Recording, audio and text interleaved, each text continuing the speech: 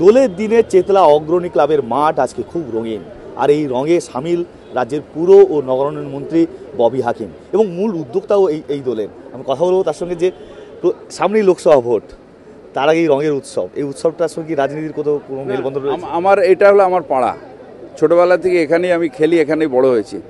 সুতরাং এখানে মন্ত্রী হিসেবে নয় তৃণমূল কংগ্রেসের নেতা হিসেবে নয় এখানে আমি পাড়ার ববি দোল খেলছি। নিশ্চিতভাবে আজকে আমরা নানা রং দিয়ে দোল খেলছি, কিন্তু ষোলোই মে মনে রাখবে শুধু তৃণমূল কংগ্রেস, সারা ভারতবর্ষের নির্ণায়ক শক্তি হবে এবং সবুজ রং দিয়ে হোলি খেলবে।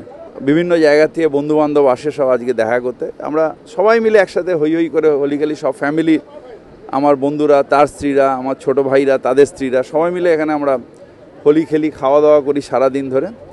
আর যেটা হয়, একটু কুংসুটিপনা একটু জোর করে পেছন দিক দিয়ে এসে ওই চৌবাচ্চা করা যে ঢুকিয়ে ফেলে দেওয়া। এই এই এই এই এই আনন্দের মধ্যে দিয়ে আমরা থাকি। আজকে আমার ক্ষেত্রে হলো রাজনীতি নয় একেবারে পাড়ায় আড্ডা। খুব আনন্দের সঙ্গে আজকে ববি হাকিম এবং তার ক্লাবের সমস্ত লোকেরা সমস্ত সদস্যরা এবং বাইরে থেকে অনেকেই আসছেন যারা এখানে এসে সুন্দর করে দোলের উৎসবে মেতে উঠছেন এবং এই দোল কিন্তু একেবারেই রঙিন সাম্প্রতিক কোনো রকম বাধা নেই, কোনো রকম কোনো একেবারে সম্প্রীতির পুরোপুরি দোল এবং এই দোলে সবাই মেতে উঠেছেন। নিমাই পান্ডা এই পি আনন্দ কলকাতা।